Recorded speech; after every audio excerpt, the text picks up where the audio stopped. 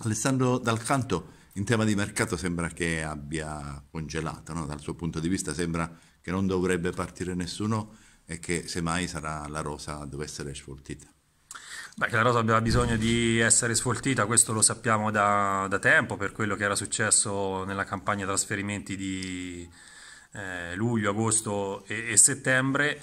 E poi quello che succederà credo che dipenderà molto anche da come andranno queste sette partite di dicembre e dalla posizione di classifica che avrà l'Arezzo dopo la partita del 30 contro, contro la Lucchese. Lì allora capiremo anche quali linee seguirà la società sul mercato. Intanto se ce ne fosse, fosse stato bisogno, Piacenza fa salire le quotazioni di questa squadra.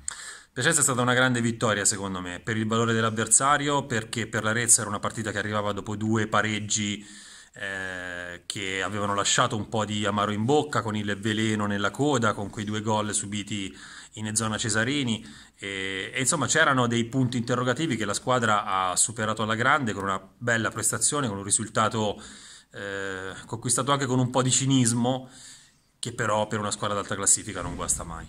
Il prossimo avversario sembra, come dire, eh, stentare a fare punti fuori casa. Ecco, e, e, e probabilmente ha ragione il mister quando dice che si aspetta un avversario agguerrito.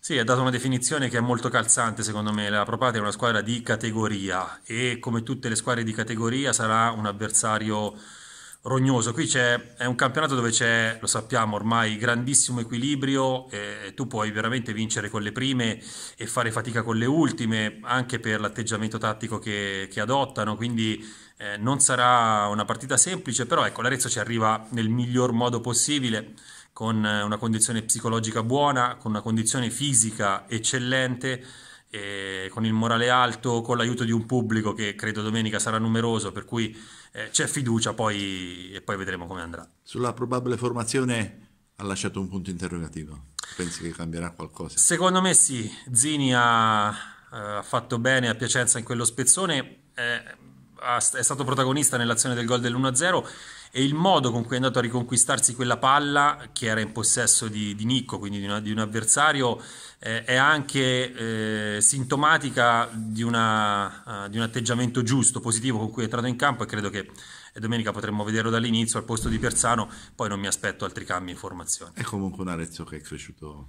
È cresciuto moltissimo, è andato al di là delle aspettative, l'abbiamo detto tutte le settimane e adesso c'è curiosità per vedere come si comporterà la squadra in queste sette partite di dicembre perché potrebbero veramente disegnare uno scenario che eh, soltanto qualche settimana fa era assolutamente impossibile da prevedere. Ok, grazie. Grazie a te. Grazie.